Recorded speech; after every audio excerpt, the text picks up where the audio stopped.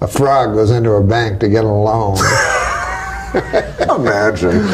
So the frog goes up to the lady, and she has a little name tag on, as they do.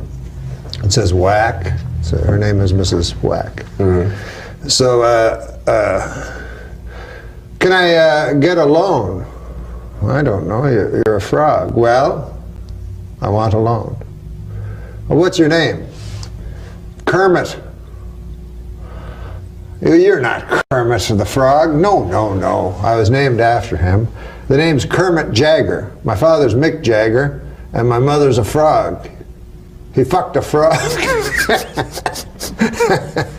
and, uh, and I'm his offspring. Is it? Well, anyways, I want a loan uh, for a lily pad.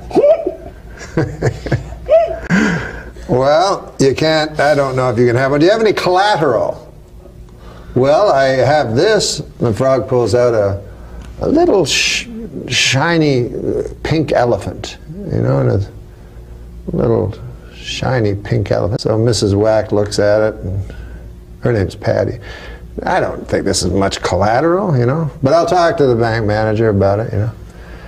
There's a fro- frog out there, Kermit Jagger gave me this damn thing. Did you know, have any idea what this is? The bank manager says, What is this? This is a knick-knack, Patty Whack. Give the frog a loan. His old man's a rolling stone. This is cool. So the news. We're going to talk about.